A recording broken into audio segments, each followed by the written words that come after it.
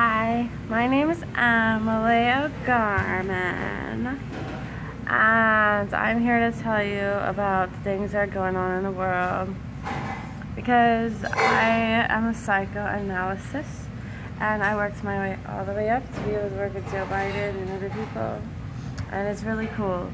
So we do a lot of really cool things. We like work around the world. We try to, you know, figure out what's going on around the world that's wrong and try to actually solve it. And our ultimate goal would be to actually solve it so that everybody has a house, everybody has food, everybody has drugs or cigarettes or whatever they want, alcohol, and that's what they need. Basically, they need the necessities, is what we're trying to do. They need those necessities. because a lot of people don't have them. And there's foreigners and stuff they're, they're, I'm not playing around, man. There's foreigners, and they don't got no food. They don't got no houses. And I live in the United States, in California, Eureka, and I'm homeless because I had to come up here and I had to find my, you know, some things, some business things I had to do up here. And then, anyways, I'll tell you more about that a little bit. But, anyways, I'm, trying to, I'm in the process of getting a car so I'm fine with that. But yeah, it's it's just kind of one of those things, you know. You, you fall into homelessness, and then all of a sudden you're like, wow, why am I homeless? Like I would have never thought, like I wasn't gonna be homeless. Like I was up here, and I was like trying to figure out what to do with myself. Like, I was like trying to find my ex-boyfriend Jeremiah. His name is Jeremiah Lewis, anyways. I was trying to find him, and I'm an atheist, and our atheist, like, God told me, like, that sounds crazy. You'll learn about it as you go.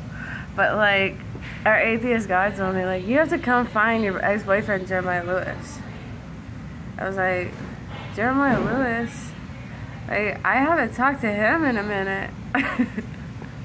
but honestly, it's kind of funny because, like, he's like all I ever wanted for like a good like five years or so.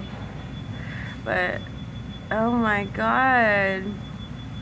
I'm about to get a car because they took my car when I got up here. And I thought that was it for a second. I ain't gonna lie. but no, but seriously. They took my car. And Jeremiah mm-hmm. Lewis was in it. He straight up stole my phone. no, he stole my phone. And I was sitting there and I'm having a good old day, you know, trying to get my job. And he comes in my car and he says, Can I borrow your phone? My mom's on her way. With his like puppy dog eyes, he does. Let me see how he does it. And he goes like, he goes like, he does something like, the fuck was that? Uh, No, he does something. He's like, he like looks that way. He's like, can I borrow your phone? Meanwhile, like I look for my phone and it's missing. And then they ended up taking my car too. so I've been living in the tent. And you know what? It wasn't a very nice tent. Got a few holes, little dings on the side. It wasn't real inviting if you ask like the town, but honestly, it works. it works if you're cold. so, that's Jeremiah Lewis. He's more of like a clown figure. He's more like a clown. But no, that's not the point. The point is, I'm up here homeless. hey, I'm homeless. and and Jeremiah Lewis is my friend still. what I'm here to tell you guys is basically about my skills of what I do. and you know what? This sparkle really didn't get off my eye.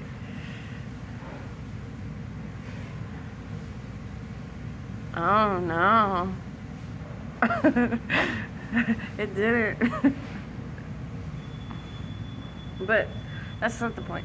I'm up here because I'm a psychoanalysis. and you find all these like crazy researchers and you're like, oh my god, like we're all homeless for why? Like we're like smart, man. We're smart people. And there's people up here that, that they've been halfway around the world kind of smart. And they're the ones that got themselves into it. Not into it, but they got themselves out. And I'm sitting here homeless with all these people that are brainiacs that don't have any kind of clue how how to really like how to, you know, do things that, that really, really a lot of people have, like houses. It's like, man, where'd you come from? They're like, I was taken there.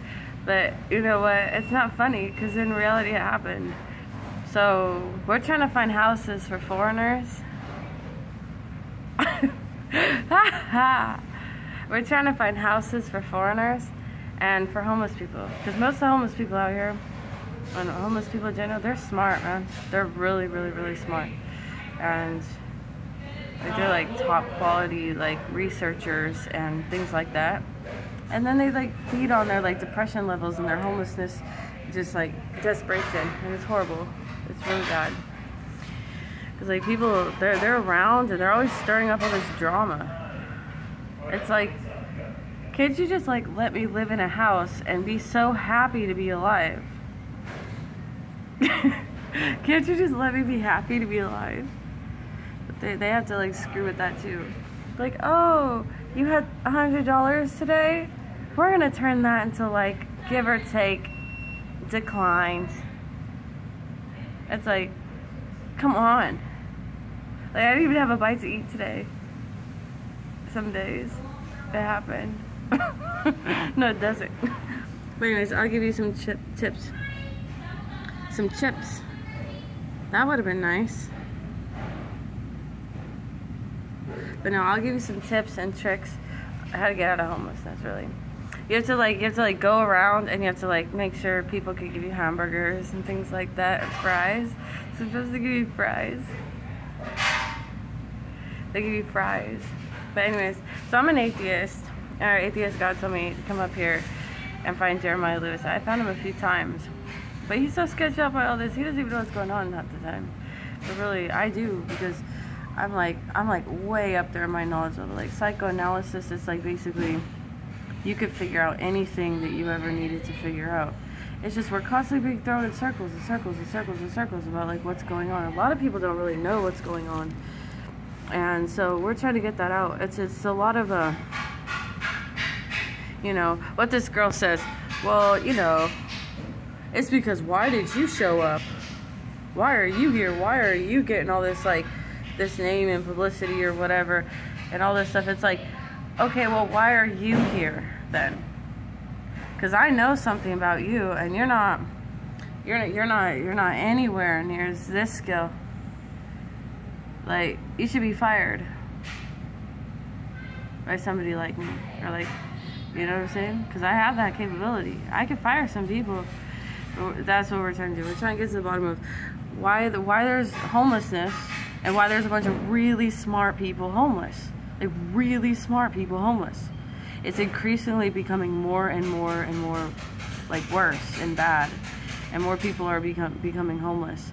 And then why are there foreigners that only have like bread to eat and things like that? Like they don't have a lot of food. They don't have like, you know, so people don't they don't have houses.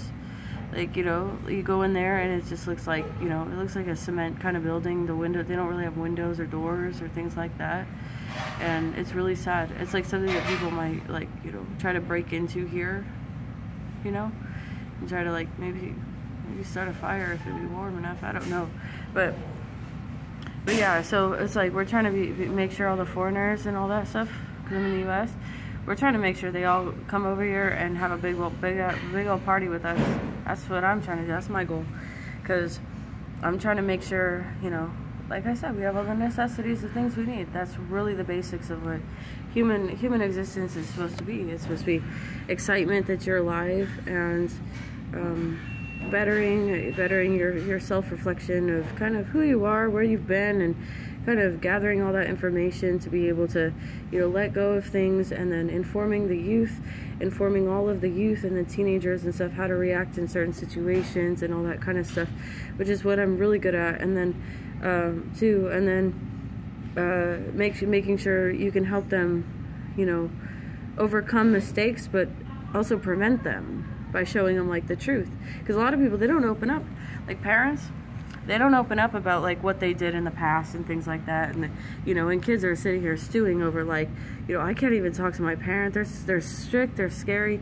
And i'm like if you can't talk to your parent i go in there i try to figure out like okay so what would we do with a, a teenager that can't talk to their parents? Either a not good parent or there's something else going on. And sometimes it's like lack of communication.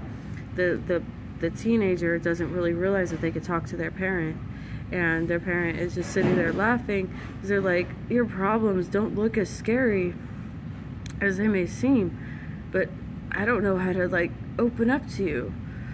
And then you know, and then the parent and then the kid, like once you once they realize that and they're like, Man, that's that's a real person.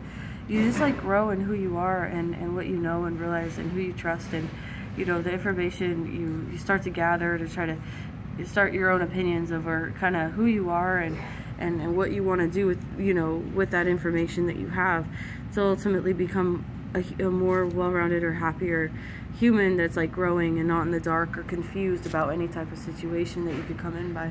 And then and then there's some parents that are just not good parents. And there's always a root to it. That's the thing like as a psychoanalysis there's always a root to everything. Even though like sometimes you have to spin in circles excuse me, and it's hard. It's hard to spin in circles because some people are like, oh, well, here's the root. Oh, no, it's not. Here's the root. And you're just like, I don't care what you're going on in your life. I want to help you, but honestly, like, you're just distracting yourself from what you're supposed to be doing, which is growing up. And that's not to the teens or kids or preteens, something like that. But when you're like well in your 20s and going on 30s and you're just stirring up other drama for other people just to distract yourself from what it is you're supposed to be doing, among looking like something that's like actually what I call like detrimental to society, which is kind of saying like your profession and you're you're using things in your profession that you're not supposed to be even using because you're not qualified. You don't know that level of sophistication yet.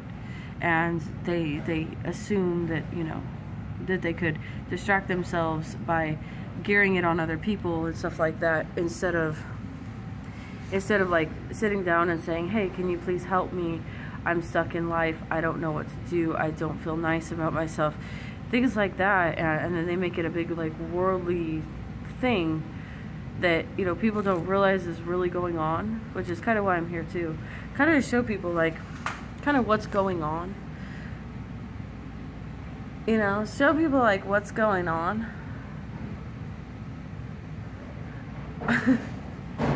okay, show people what's really going on and trying to figure out, you know, what to do with the situations that they need to do so that we could get all the situation handled.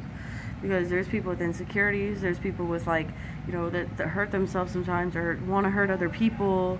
There's people that like, you know, they, let's see, you know, they they don't feel like they have creativity. There's people that were abused. A lot of people were abused.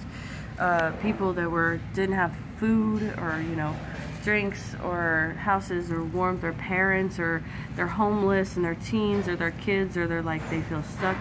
They feel like i'm on the opposite opposite side of the world. I don't know what to do with my life. My friends aren't coming through. My family ain't coming through. Stuff like that. So there's a lot of problems going on and and it's more like worldwide kind of things that are really happening. So we're trying to get to the bottom of it. I'm trying to you know let you guys know everything and then help with the techniques I have for psychoanalysising, which is basically all these kinds of therapy techniques. Not really therapy, but techniques that really kind of like help with anxiety, stressors, talking to people, talking to parents, professional type stuff, gearing up for jobs and all that kind of stuff, what you would need for that. And then um, kids, if you're gonna have kids, if you've ever lost someone, just just different things like that that I can help kind of help make you, you know, you know see it from a different perspective and try to really try to really get in there and dig deep because a lot of people have the same kind of trauma and different things like that and that's something I really specialize in helping people get to the root of those things but also just living a happier life.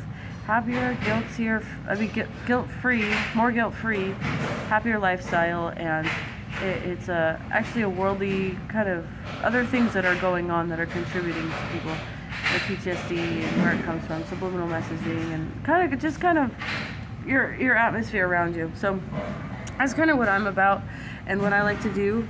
And I really want to share that with you guys because I, I, know it's going to help a lot of people. And so uh, that, you know, getting everybody healthy, cured, confident, you know, um, all those kinds of things. And then among all the resources and things like that that they're going to be able to need in this like upcoming years and and make sure everybody kind of has a good time and a good life and happy and doing all the things music and talent and all the kinds of things that come with it. And uh, you know with age and the more you're aware and the more it goes just the more happier it gets as far as that creativity and those talents and the ability to want to do and stuff like that. So anyways I wanted to I just wanted to introduce myself. My name is Emily Marissa O'Gorman you just call me Emily or Emily Marissa O'Gorman. You call me whatever you want. Emily, Emily Marissa, Emily O'Gorman. But yeah, so that's kind of one of these things. I'm at In-N-Out late. It's like almost one. I mean, it closed at one, so I'm gonna hang out in here and then go find my tents and try to see if my blankets are dry. But uh, but yeah, sometimes they let me in the mall just shop around. There's a lot of things going on with the mall, man. The world is changing. It's very strange. But we're going to get through it, and we're going to get through it together, and I'm going to teach you everything that I know about it so that it makes sense so you can see it from a different eye, different perspective.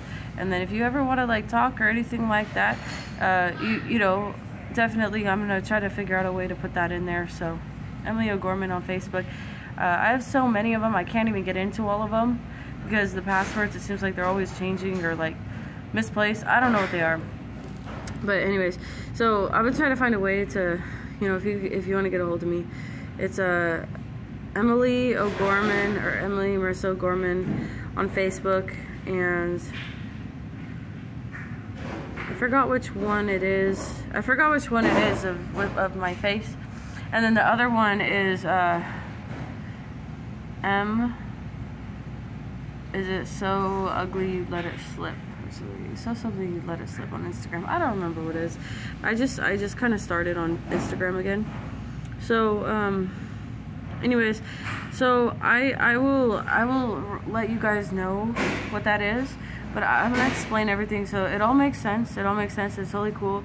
It's just there's a lot to it amongst it's it's a lot of medical stuff, a lot of medical stuff. So it's it's really cool and uh, really fun to learn and uh, I mean, like, it's, it's cool to learn stuff about what's going on around the world and how people are affected by it, it worldwide and what we're doing to, to kind of just help out the situation and all the fun stuff that we found out in between, which is crazy. Like, you know, we met some clairvoyants, things like that. Crazy things that are just totally fun. I say fun, I feel like it's like a big, like, carnival. It's not a carnival, but it's, it's a lot of figuring out this step, this, this, this goes here, this goes here. Sometimes we go in a circle. Like, okay, well, but now we know all that. But so, anyways, I want to share that with you guys.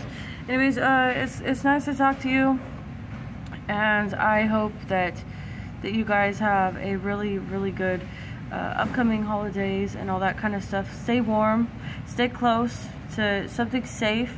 You know, if something's going on or something. Um, try try to get to the bottom of it, but try to move swiftly. You know, you want to stay safe. You don't want to be stuck in homelessness, man. Homelessness sucks. It sucks so bad. There's all of us. We're smart. We're trying to get out of here, man. Where we don't want to be stuck in here, man. So, anyways, uh, try to stay safe. Try to get food, all that kind of stuff. Stick with your friends that are good friends. Uh, don't be too trusting. Sometimes, you know, be weary if you have certain feelings. Try to talk about it to someone or bring them up about people. You just never know, you know, who's around but always try to keep safe and, and just you know the more confidence you have the more you're and the more awareness the more you're going to be able to you know breeze through this whole thing and and make other people aware and all that kind of stuff it is we all kind of stick together at that point you know we stick together we're all going to be fine it's just people uh, they're kind of like we feel left out or we don't know what's going on, stuff like that.